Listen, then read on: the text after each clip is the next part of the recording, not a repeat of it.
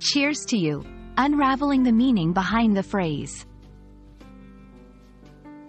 Hello, everyone. Today, we're going to explore the phrase, cheers to you.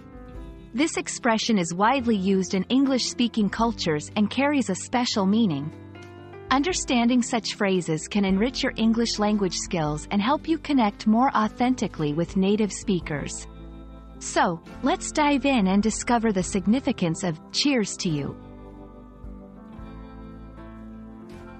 The word cheers originated in the United Kingdom and has been a part of English vernacular for centuries.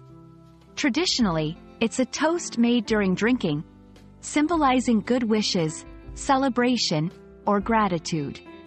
Over time, the usage of cheers has evolved beyond the context of toasting, becoming a versatile phrase in everyday language. In modern English, saying, cheers to you, extends beyond clinking glasses. It's a way of expressing congratulations, showing appreciation, or acknowledging someone's achievements or good qualities. For instance, if someone has achieved a personal milestone, you might say, Cheers to you for your hard work and dedication. It's important to understand the cultural context of this phrase. While cheers to you is common in British and American English, its usage might vary in other English-speaking countries. Additionally, similar expressions exist, like here's to you, or a toast to you, which carry a similar sentiment.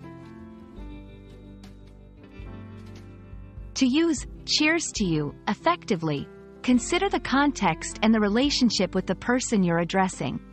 Here are a few examples. Celebratory, cheers to you on your new job. Appreciative, cheers to you for your help today. Encouraging, cheers to you for trying your best. We hope this video has shed light on the phrase, cheers to you. Remember, Understanding such expressions enhances your language skills and helps you communicate more naturally in English. Cheers to you for joining us in this learning journey, and we look forward to bringing you more insightful content. Until next time, happy learning!